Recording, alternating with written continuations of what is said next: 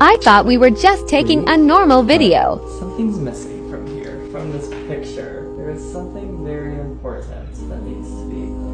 What are you doing? What is that? Justin, what did you get? Gonna love. No, you didn't. Now we're twinning. No, you didn't. Look, yours says Capricorn, um, and mine says Virgo. Is that what you got from your car? Yes.